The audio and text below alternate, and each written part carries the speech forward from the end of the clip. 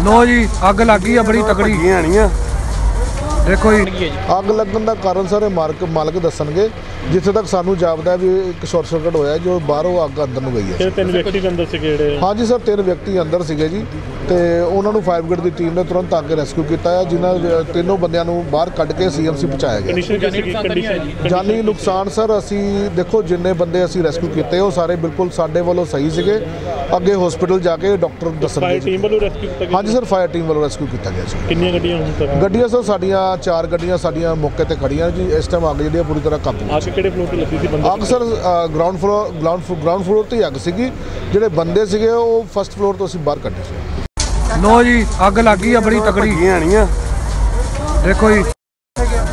ਨੋ ਜੀ ਅੱਗ ਲੱਗ ਗਈ ਆ ਬੜੀ ਤਕੜੀ। ਲੱਗੀਆਂ ਨਹੀਂ ਆ ਦੇਖੋ ਜੀ। ਨੋ ਜੀ ਅੱਗ ਲੱਗ ਗਈ ਆ ਬੜੀ ਤਕੜੀ। ਲੱਗੀਆਂ ਨਹੀਂ ਆ